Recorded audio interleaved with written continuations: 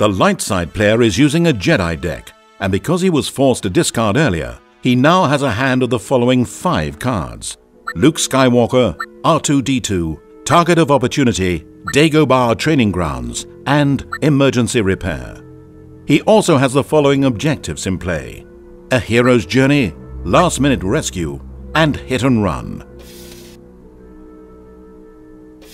If the balance of the force were on the light side, the light side player would now be able to deal one damage to any dark side objective. Unfortunately, the balance of the force is currently with the dark side, so nothing happens at this time. Because it's his first turn, the light side player does not need to clear focus or refresh cards, so play continues to the draw phase. In the draw phase, the light side player may discard one card from his hand and draw back up to his reserve. He decides to discard Emergency Repair. To meet his reserve value of 6, he draws two cards from his command deck, Return of the Jedi and Obi-Wan Kenobi. The light side player places one focus token on his affiliation card to play the Dagobah Training Grounds.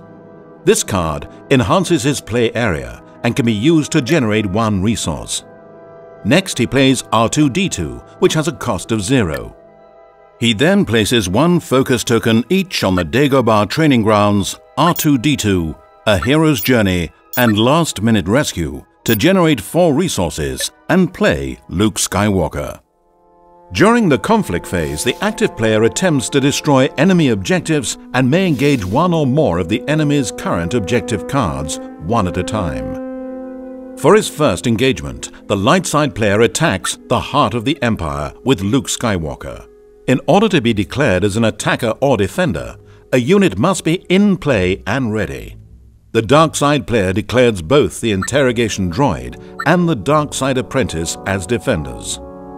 Once attackers and defenders have been declared, the players must now participate in an edge battle. The edge battle represents the combatants maneuvering for position, gathering intelligence, and engaging in sabotage, infiltration, or other endeavors before the physical battle begins.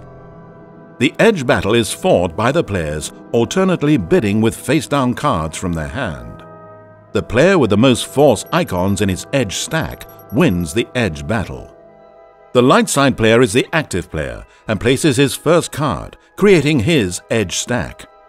The dark side player then responds with his own card, and play continues in this fashion until both players pass consecutively. In his edge stack, the light side player reveals six force icons, and the dark side player reveals five. Both Target of Opportunity and Heat of Battle are Fate cards, which is the only card type that has any textual effect when revealed in an edge stack. Each Fate card has a priority number, and effects of these cards are now resolved in order of priority from lowest to highest. Heat of Battle with a priority of 6 reads, Deal 1 damage to a target participating enemy unit. So the dark side player deals 1 damage to Luke Skywalker. Target of Opportunity with a priority of 9 reads, If you are the attacking player, deal 1 damage to the engaged objective. So the light side player places 1 damage on the Heart of the Empire objective card. After all Fate cards have resolved, the players compare the number of Force icons in each of their edge stacks. The light side player with 6 icons has won the edge battle. This means that he will strike first, and all of his edge-dependent combat icons are active during this engagement. Additionally, the light side player controls the objective card Hit and Run, which reads Reaction after you win an edge battle as the attacker, deal 1 damage to the engaged objective. So the reaction triggers and places another damage on the heart of the Empire. With the edge battle now complete, all cards in each player's edge stack are discarded, and play proceeds to resolving strikes. In order to strike, a unit must be both ready and participating in the engagement. The light side chooses to strike with Luke Skywalker. To do this, he places one focus token on Luke and resolves Luke's combat icons. Luke has two unit damage icons, which allows him to deal 2 damage to any one participating enemy unit. The light side player deals 2 damage to the dark side apprentice, which is equal to its damage capacity, so it's destroyed. Luke also has two blast damage icons. The icon with the white background is edge dependent, and since the light side player won the edge battle, this icon is active. Had he lost the edge battle, this icon would be ignored. Blast damage icons enable the light side player to place 2 damage on the engaged objective, the heart of the Empire. The dark side player can now strike with his only surviving unit, the interrogation droid.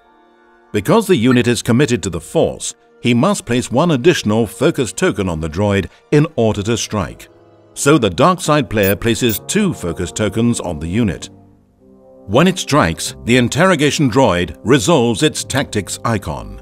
Each tactics icon allows its controller to place a focus token on any enemy unit of his choice, even if that unit is not participating in the engagement.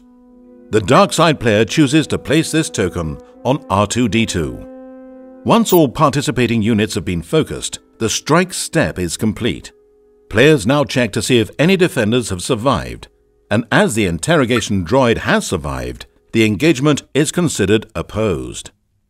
The light side player would now be permitted to declare an engagement against another dark side objective, but as both of his units are exhausted, he can declare no further attackers, so his conflict phase is complete. The light side player now has the option to commit any of his units to the Force struggle. He commits Luke Skywalker to the Force, However, only units that are ready and committed count their Force icons during the Force struggle. So the light side player and the dark side player both count zero icons. Both Luke and the interrogation droid are exhausted. When a Force struggle is tied, the balance of the Force does not change. In this case, it remains on the dark side. The light side player's turn is now complete, and the game proceeds to the dark side player's second turn.